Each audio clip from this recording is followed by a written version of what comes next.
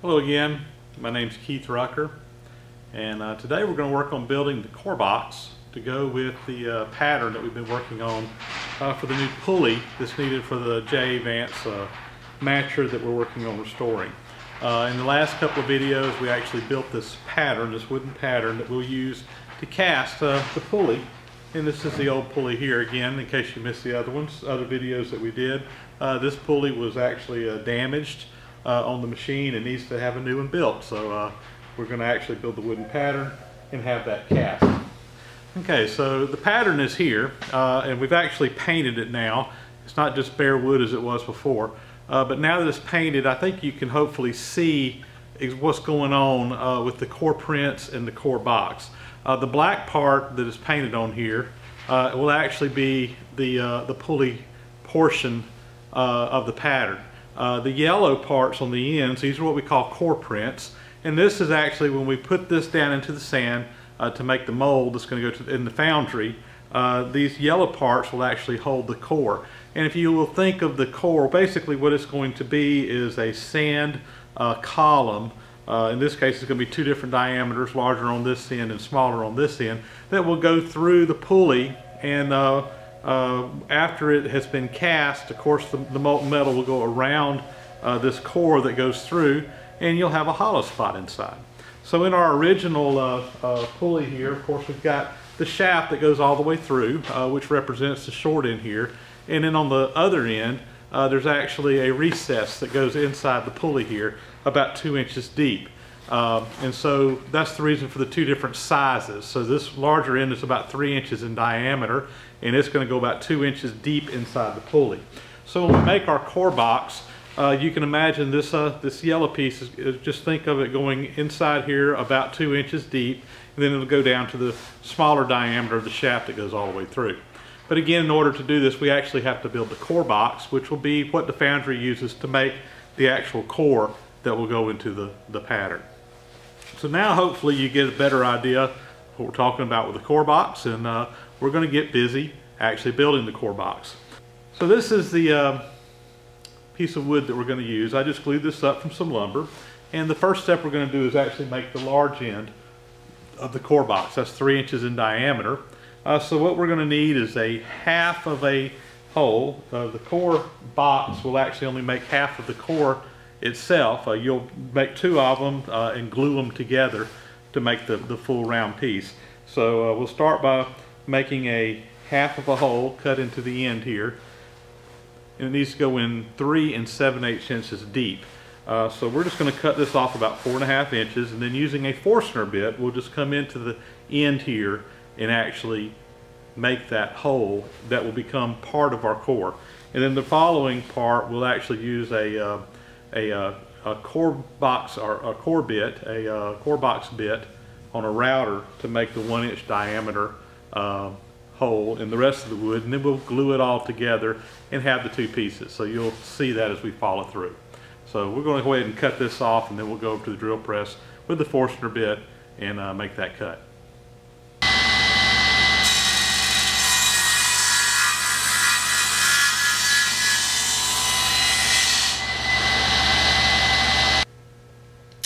We're ready now to drill this hole. And just to let you know what we've done here, I just took a uh, sacrificial piece of wood, cut the same size as the block. This, these two pieces here, what I'm working with. But because the center of the drill bit is going to be right here on this part line, I just took another piece of wood and clamped it on here. And that just gave me a little bit more wood so that I could get the center exactly on there. I've got the drill press set up here with a, a three inch diameter Forstner bit uh, which is the same diameter we need. Uh, I know that we need to go 3 and 7 eighths inches deep, so I've already set up my depth stop on the drill press uh, to go that deep as well. Uh, so we're to the point now, we're just ready to go ahead and, uh, and drill this hole out.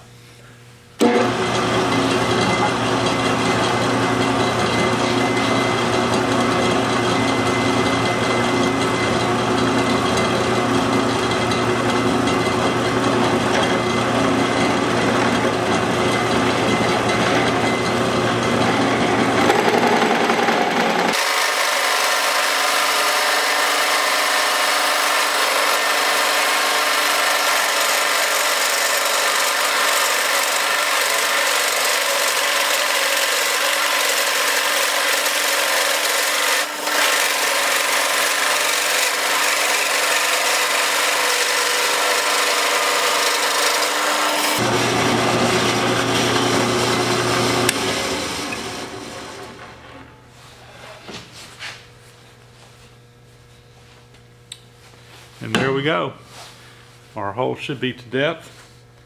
Uh, we'll double check that, make sure everything's just right before we take it out of here, but we should be ready to go to the next step. We've got the um, first part of the core box done now. This was uh, the part that was drilled out with a Forstner bit. And as you can see, it's just basically half of a uh, circle, half of the drilled out circle that goes down to the depth that I need. And uh, I just took the board that I clamped off here. So this will be for the large diameter, uh, the three inch diameter, which will be the hollow spot inside of the um, of the of the, the pattern or the part. Uh, next, uh, I need to get the uh, the part for the shafts that will be going through the pulley, and it's a little bit smaller diameter. Its uh, final diameter will be about an inch and a half. Uh, so my pattern that I made, I actually turned that down to about an inch and a quarter, actually just a tad over an inch and a quarter diameter uh, in the pattern itself. Uh, so uh, that'll give me some room once I get it past where I can remove some material, bore that out on the lathe, uh, and be ready to go. So what I'm going to do now is I'm just going to actually uh, cut, do a similar type thing, make the cut a half circle here again for the shaft that will go be put together with this piece. To do that, instead of using a drill bit, because it is a rather long, long uh, cut, uh, I'll use uh, a router using a core box bit. And a lot of people probably have seen these core box bits in the router catalogs. It's just a uh, uh, basically a half circle here. Let me see if I can get that focus. There we go.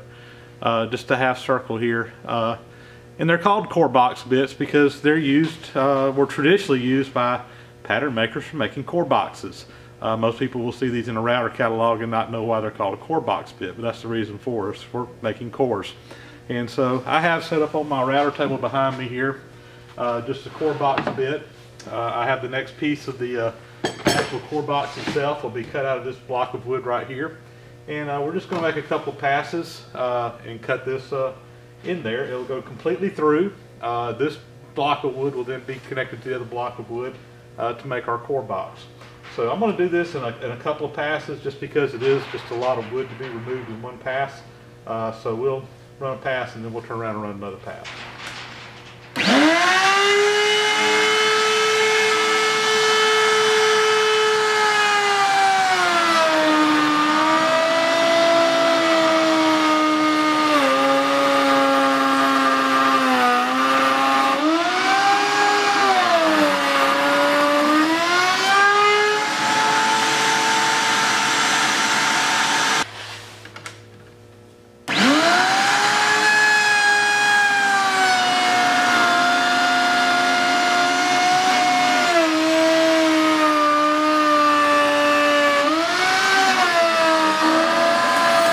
Now we have the second uh, part of our core box cut here, and this pretty much takes out uh, the cutting that needs to be done. So these two pieces uh, will just be uh, put together uh, like this right here, and uh, we'll put a end piece on the end here so that it'll be have something to hold the sand in there, and the core box is pretty much done. We have finished making the core box now. Um, just did a little couple little few little things to it there. First thing we did was we just took the two sections here and I glued them together uh, because it was a cross end grain and, and gluing across end grain usually doesn't make a very strong uh, joint. I, I just uh, reinforced that with some strips of wood on the side uh, which were also glued and I just put a couple of uh, finish nails in here on either side to give it some strength. Also uh, on the end here I just put a strip of wood across here. This is just a cap uh, to put a stop to the end of that right there. So now uh, this core box is pretty much ready to go and you can imagine the way this is going to work is uh, we'll fill this with sand uh, that has a little uh, adhesion in it kind of like some glue mixed, mixed into the sand. Um, and uh, we'll actually make two pieces, two halves of the core pop them out of this. They'll be be nice and, and stiff and we just glue those two pieces together to get a circular core and then we lay that the core into the prints that are will be left in the in the sand pattern or in the sand uh, mold uh, when we get to the foundry. I thought I'd show some pictures here um, of a pattern that I made a while back that we actually took through the casting process. Um, in addition to doing pattern making and woodworking, I also do some metal casting uh, just a little hobby I guess I picked up, a little trade I picked up just out of necessity restoring old machines. But I have a, a little small foundry, set up a little small furnace uh, that I can melt aluminum and brass in. I can't do cast iron because I can't get it hot enough.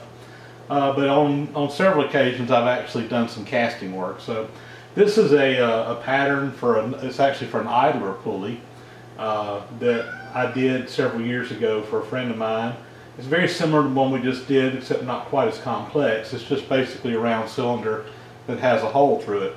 It would have been very easy for us to just machine this out of a piece of uh, aluminum, uh, which was material that was made out of. But at the time we were getting ready to do a little demonstration, wanted to do a little foundry demo and casting demo and, and actually machining demo. So we decided to, uh, to make a pattern, and go through the process of casting. So Unfortunately, I don't have any video of that, but I did take several pictures along the way, so I thought I'd go through and just kind of show you. So as you can see here with this picture, uh, you know, it started out as a split pattern, very similar to what we had uh, that, that, we just got through making. Um, so uh, very similar to how we just made the uh, core box. Uh, this is an actual core box for this pattern that we made. It's, it's a lot simpler, just had a single shaft going through there. Uh, and you can see it was made just like we did this other one with the core box bit. And uh, what you're seeing me doing right there is, is we actually mixed up uh, the sand uh, with some uh, uh, a binding agent, and we're just packing that sand into the into the core box, and end up with something like this. This is us just scraping the top of it off to make it flush. And we would we would do two halves and uh, take those two halves and uh, from there we would glue them together into a, uh, a, a, core. So here's a picture showing the two halves. Uh, actually the binding material that we were using in here hardens with uh, carbon dioxide so we had a CO2 tank and uh, we are actually just exposing those to a high level of CO2 so that it would harden a little bit quicker. And this is the actual core that we were through with. Okay, from there, um, kind of go through the casting process. So the first thing that we did was uh, we take half of that split pattern and we put it into the flask. The flask is the metal piece that's around this pattern.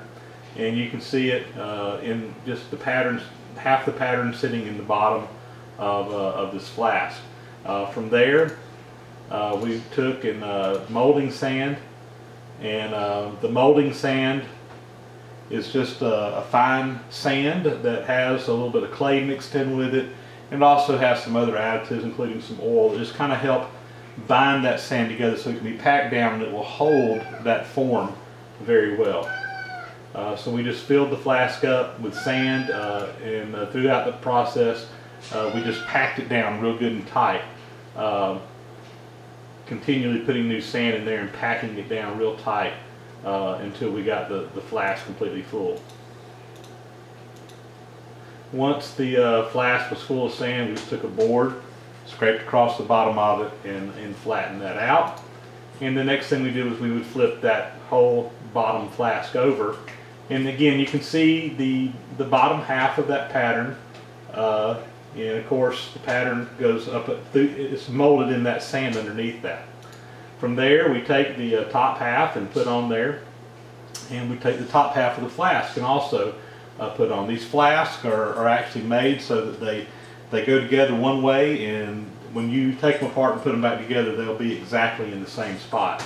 Uh, the little spout looking thing next to that, that's actually going to be the pour hole, uh, where we will pour the molten aluminum uh, into this uh, into the mold, and then there we, we cut a little channel from that pour hole over to the casting so that it could flow in there. So with that done, uh, again, uh, we just uh, uh, start packing in more sand until we get it pretty much up to the top. And again, here's just a shot showing us with a little trowel cutting out a funnel, and that's where we're going to pour the the molten metal into. Um, this is us putting us some little vents in there because of the heat. Uh, in, in, in that uh, mold, uh, there's going to be a lot of gases that come off of it. Uh, so we just take a little piece of wire and put some vent holes in there uh, to help those gases escape without messing our pattern up. And there's the pour hole ready to go. Uh, once that's done, we take the two flasks back apart. The white stuff in between there is actually uh, just uh, some fine sand that we put in between there to give a parting layer so that the, the sand does not bind to one another. Uh, parting dust is commonly used for this. Um I think actually, I think actually what we were using right there was uh, cornstarch, just something uh, to go in between there, in, in between the two, the two layers so that the, the pattern can be taken apart. Anyway, we get in there, we remove the two halves of the pattern out of the flask, and, uh, and then we take the core that we had before and we lay it into those core prints. And as you can see, when you put the top half back on onto the uh, uh, bottom half here, uh, that core is in between the two pieces, and uh, you can kind of imagine when you fill up that hollow void in there with molten metal, we'll have that piece of sand running through there, the core running through there, that can be uh, cleaned out later, and you'll have the hole going through the, the casting. Okay, this is my homemade furnace here that, that I built. This runs off of propane. Uh, in the bottom is a crucible, and, and we just put in some aluminum that we were melting down there. This is uh, just a shot where we took the top off. I think we're putting some more metal in there that we're heating up. Uh, you can actually see in the bottom, if you look real closely, you can see the, the glowing uh, crucible in there where it's just red hot. Uh, and the aluminum is melting in there. And we just uh, melt out enough aluminum uh, to to do our pour. And uh, it takes uh, probably 30 45 minutes for that to melt. And uh, then from there we take it and pour the, the metal in there. And this is the metal after we we made the pour. And it, we, we purposely kind of overfill it because as that metal cools it will actually suck more metal down into it so you, you want to make sure you have a in that pouring hole, you want to have a reservoir of, of molten metal because, like I said, as it cools, it'll actually suck. Uh, you'll see a little funnel-shaped uh, thing appear at the top of that molten metal as it starts to cool down. Uh, and then during that process, it shrinks as well. Uh, I don't think I have a picture of the casting after we took it out, but you can pretty well imagine what it looked like. And then that was taken in uh, to the machine shop, and, and we bored out the inside uh, using a boring bar and then uh, put that on a mandrel and, and, and turn the outside diameter and uh, presto, we had our, our idler pulley that we were wanting to make. So hopefully those pictures will give you a better idea of the, the actual molding process, the foundry process uh, that you go through uh, when, when pouring metal and I wish we could get pictures of of uh, this pa pattern going through the foundry, but I'll be sending this off to a foundry uh, a long way from here, a little too far to travel to, that does uh, small one-off jobs uh, like this. Uh, so we're going to mail these pieces off, and hopefully here uh, in a month or so we'll get our castings back and we can start the machining process. So there you go. we got the core box done, and pretty much this project is ready to ship on to the foundry. Uh, when we get the pieces back, we'll come back and we'll start showing you how to machine this thing out.